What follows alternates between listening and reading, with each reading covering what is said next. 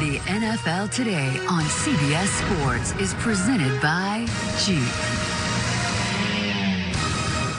And welcome back to the NFL today. Right now, the Texans and the Patriots are getting set for their matchup. And as we approach kickoff, we send you out live to Foxborough with our announcers, Jim Nantz, Tony Romo, and Tracy Wolfson. Well, JB, you got a crew here that is uh, so excited to get this season started. Welcome, everyone, to Gillette Stadium, Houston, and New England. Hello, friends. Jim Nantz, Tony Romo, Tracy Wolfson, and all the crew back together again on a Super Bowl season for CBS. We'll be there in Atlanta on February 3rd.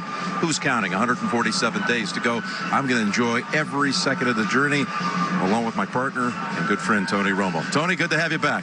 Good to be back. I tell you, it's a great season last year. I'm excited to get back to together with you and the team, but uh, shocking here to talk about the Super Bowl this year because it feels like you know we're going to the Super Bowl before the season starts. So we're the only team who knows that. Yeah, never a doubt. And you know, you look at this season, it is it's always going in wide open. Who knows? We might have one of the AFC, the AFC team coming out of this game come into the year.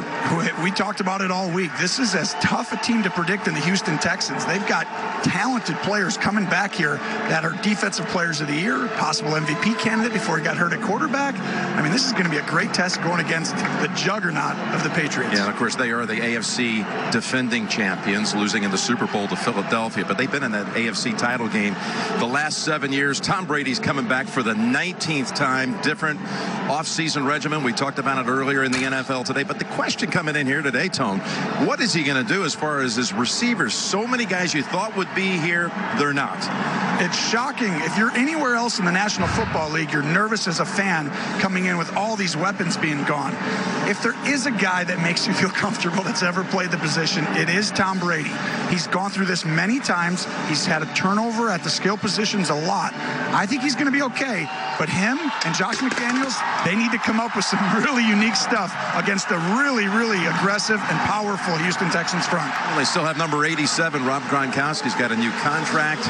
And uh, that's always a great safety valve to have, if that's what you call it. He is. In every clutch situation, you saw him look to Gronk last year. In the first four weeks of the year, defensive coordinators have got to take Gronkowski out of the football games. Do not let him beat you in situational football. Third and four in the red zone. Make Tom Brady go to different people early in the season before Edelman gets back. You have a chance right now to attack and make him go other places. I know you're excited, as there are a lot of folks around the league, to see what Deshaun Watson looks like after what he showed us last season before the torn ACL ended his rookie campaign, and they were nothing without him. In fact, 21 points less per game. They went one and eight after the injury to Watson, having, of course, started Savage in game one, which they lost. But what about Watson? He says, you know what, I'm ready to run. I'm ready to go right back in business as usual. Well, these two guys you just talked, Deshaun Watson coming back, J.J. Watt coming back.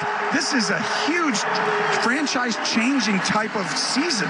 They weren't very good last year. If these two are healthy and they are playing at the level they were before they got hurt, I don't want to see this team. I'm telling you, these are two dynamic football players when healthy. JJ says he hasn't been this healthy since 2015. And now, Tony, let's do Project Smarter, presented by Home Depot.